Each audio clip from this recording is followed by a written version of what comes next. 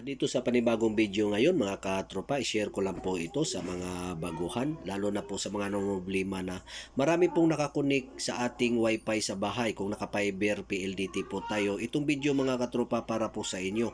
At dahil madali na po nila ma-scan or makuha yung wifi password natin dahil sa scan ng QR code, ah, kahit si- ah, sino hindi na po makapag-connect ah, sa gagawin natin itong ah, panibagong settings di ating ah, modem. Isundan po natin yung video. Ang gagamitin lang po natin mga katropa, ah, mobile phone lang. Ah, hindi na po natin kailangan mga katropa mag-download ng anumang application sa Play Store para makapag-block tayo ng mga Wi-Fi user dahil ah, kadalasan po sa mga application hindi po gumagana. Direct po tayo mag-configure dito sa ating pinaka-modem ng ating PLDT. Sundan po natin yung video step by step. Ah, subok na po talaga ito. Marami na po tayong mga kakilala na ganito ang ginawa natin. Ah, wala na po talagang makapag-access sa kanilang wifi kahit pamigay pa yung mga wifi password sa mga kakilala. Okay, pakita ko po muna sa inyo mga katropa. Ah, speed test tayo dito sa ating mobile phone. Ayan. Actual speed test po ito mga katropa sa 2.4 GHz ng wifi sa ating ah, PLDT home fiber. Para may pakita po talaga natin na mayroong internet connection or connected po talaga itong ating mobile phone na Huawei dito sa ating ah, modem ah, router. Ayan, punta po tayo ng Wi-Fi settings ng ating mobile phone. Ayan, check po natin kung saan tayo connected. Ayan po mga katropa, connected po tayo dito sa PLDT SSID natin. Ngayon, ang ginagawa nga ng karamihan, ah, kiklik lang po nila yung settings na yan, tapos pagpindutin po natin itong SSID ng ating PLDT, lalabas po yung QR code. Ngayon, madali lang po mag-scan ngayon dahil nga makapag-install po tayo ng scanner at nang gagaling po sa mga Play Store. Ayan, once po natin i-scan ito mga katropa ng ating isang mobile phone na may QR code scanner tayo, ayan, automatic po talaga mababasa na natin or makukuha na natin yung Wi-Fi password kung saan yung isang mobile phone natin connected doon sa ah, modem na PLDT. Ayan, pwede na po nila yan ikakopy, pwede din po nila isi-share sa mga kakilala or kaibigan.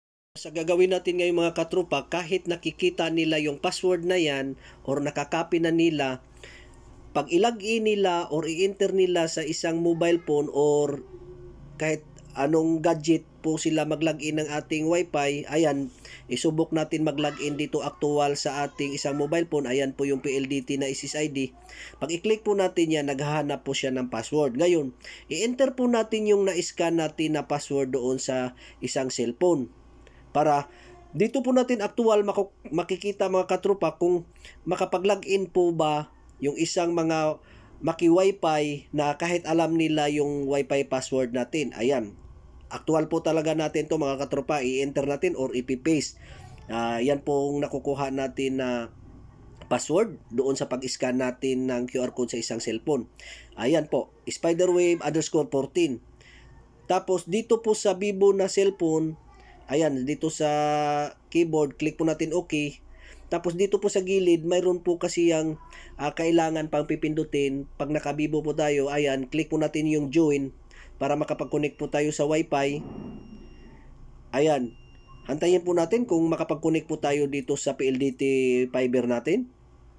Ayan mga katropa, actual po talaga ah, yung lumabas yung SSID natin pero nakalagay ah, denied access. Ibig sabihin, hindi po nire-receive ng modem natin or hindi po tinatanggap ng modem natin itong mobile phone na kahit alam po or kahit po nakuha natin yung password, ah, hindi po talaga tatanggapin ng ating modem router. Kaya ito po yung gagawin natin mga katropa kahit tingnan pa natin dito sa Wi-Fi settings, ayan, ang nangyayari lang po mga katropa, kung makikita natin yung SSID ng ating PLDT, itong mobile phone na to, connecting lang mga katropa, ayan, kukonecting lang siya, hindi siya magiging connected.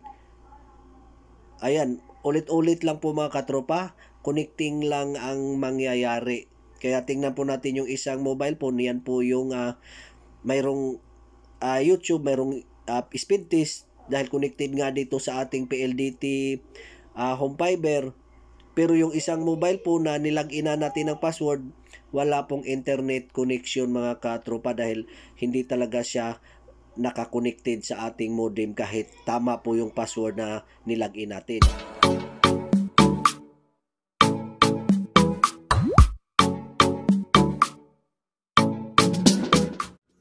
Pero bago po tayo mag-proceed mga katropa, kung nandito po kayo sa YouTube platform, ah, click nyo lang po itong logo ng aking channel. Ayan, para ma-direct po kayo sa aking pinaka ah, na Hightech Vlog. At please, ah, subs- click na subscribe mga katropa and click the bell all para updated po kayo or ma-notify po kayo sa mga gagawin pa natin mga tutorial. At saka kung nandito po kayo sa aking channel, click nyo po itong video. Ayan, para lalabas po lahat ng aking mga na-upload na mga tutorial dito sa aking ah, channel. Scroll down nyo lang po mga katropa kung mayroon po kayong gustong ah, matutunan tungkol po sa lahat ng mga old router modem, tungkol po sa piso wifi hotspot, tungkol po sa mga ah, P2P or point-to-point distribution, paano mapalawak yung mga wifi signal natin pang personal or pang business ah, mapanood po dito mga katropa. Okay, dito na po tayo sa pinaka-homepage ng ating mobile phone para ito po yung gagamitin natin para makapag-block po tayo ng mga Wi-Fi user sa ating ah, PLDT modem. Ah, punta po tayo sa pinaka Wi-Fi settings. Kailangan po natin dapat connected po tayo ng ating ah, PLDT router. Ayan, connected na po tayo mga katropa. Ayan, then balik po tayo sa pinaka homepage. Hanapin po natin yung browser kung naka Google Chrome po kayo. Ang sa akin naman ginagamit, Opera Mini. Then enter po natin yung uh, default IP address ng ating modem. Nasa likod lang po ng ating modem po yung naka-default IP address na 192.168.1.1. Ayan. Then pag once po natin i-enter, ayan, mag-pop up na po yung pinaka login or portal ng ating uh, modem router. Enter po natin yung admin kung naka-default pa po yan sa inyo. Tapos yung password mga katropa. Then dito na po natin nakikita yung pinaka-dashboard ng ating modem para mas mapabilis po tayo. Ayan. Dito po sa status, yan po yung makikita natin mga katropa. Tapos click po natin itong uh, user's device. Dito natin makikita kung ilan po yung cellphone or mobile po na nakakonect. Ayan, dito po sa tutorial ngayon, ayan po yung online ko mga katropa ito po yung mobile ko ngayon na ginamit. Ito po yung connected ng ating modem. Ayan, dito nakikita natin yung uh, MAC address at saka details ng ating mobile phone. Kaya pwede na po natin itong i-copy or i-paste para doon po sa settings natin gagawin. Ngayon, sa mga nagtatanong naman, paano kung magdagdag tayo ng uh, another mobile phone para sa modem natin na makapag-access, saan natin makukuha yung MAC address. Punta lang po tayo sa uh, settings ng ating mobile phone. Hanapin po natin yung uh, about phone. Tapos dito sa about phone mga katropa, hanapin po natin yung status. Dito sa status, pag i-click po natin tong status, dito natin makikita ngayon yung MAC address ng ating mobile phone pwede na po natin tong i-copy, isulat sa papel, tapos i-manual enter natin doon sa modem. Kung gusto nating uh, magdagdag tayo ng uh, uh, mobile phone na pwede makapag-access ulit sa ating modem. Kasi kung naka nakapag-block la po tayo, hindi na po talaga makapag-access yung ibang uh, gadget. Ngayon, balik tayo dito sa pinaka-modem natin mga katropa. Uh, enter po natin yung admin at saka yung uh, password para makapasok ulit tayo sa dashboard ayan, dito na po tayo sa pinaka-dashboard. Papakita ko po muna sa inyo mga katropa dito sa WLAN or wireless LAN kung saan nandito yung uh, Wi-Fi natin na 2.4 GHz at saka yung uh, 5 GHz. Ayan po yung is-is ID ng ating 2.4 GHz.